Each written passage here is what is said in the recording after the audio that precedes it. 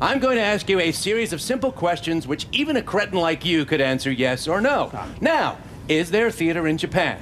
Yes. Good. And do you have a particular favorite type of Japanese theater? Yes. Well, good. Now we're getting somewhere. Will you tell me the name of your favorite form of Japanese theater? Noh. Why not? Why not what? And why won't you tell me your favorite Japanese theater? I just did. did what? Told you my favorite form of Japanese theater. You did. Yes. Well, will you tell me again? Yes. Noh. Oh, come on!